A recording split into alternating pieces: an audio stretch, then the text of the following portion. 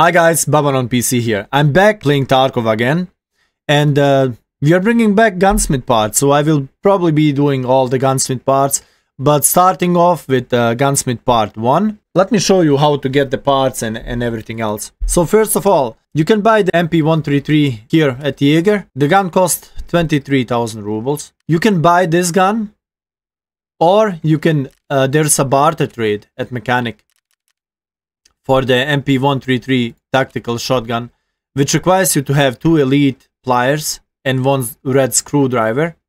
And you will get this amazing thing which has a lot of parts that we need. So if you can buy this one, uh, if not then just buy it from Jaeger.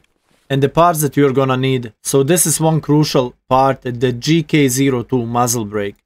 So there is no barter for it or um, you cannot buy it from any vendor at this low level. So you have to find it in raid somehow. And if you see one like a lot of a lot of the scavs have this uh, muzzle brake on their shotguns. So always make sure to check to check the scavs because this is one crucial part which you cannot buy and you will have to find it in raid.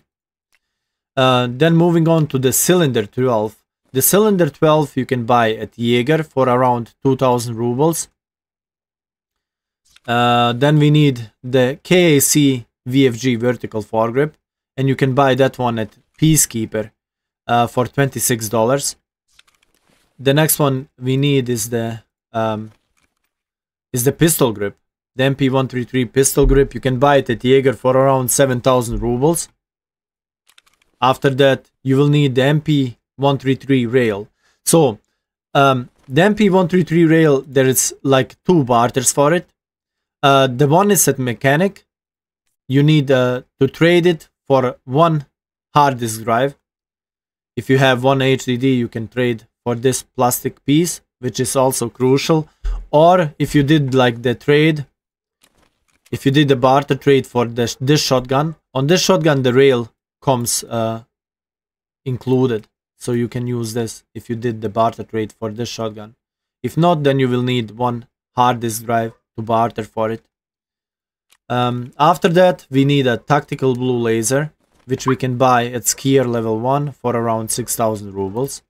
And let me show you real quick how to assemble the gun. Of course, when you get if you get the shotgun maybe from a scav, like it will have lower than 50% durability.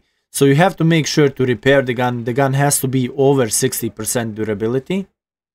Then uh, take off like all the parts and leave it like that. Now we need to put on the pistol grip, then put on the rail, put on the cylinder, then the GK02 uh, compensator, then the foregrip, and then the tactical blue laser. And you will see a yellow check mark appear. Now we can go to the traders, go to mechanic, go to tasks, gunsmith part 1, and you will see the um, option to turn the weapon in. If you click on it, you can select the gun right like that. Click on turn in and gunsmith part 1 is completed. So guys, that was it for gunsmith part 1. I hope I made it as simple as possible and as easy as possible. If you like the video, hit the like button and subscribe to the channel for more videos like this. I see you guys in the next one. Bye bye.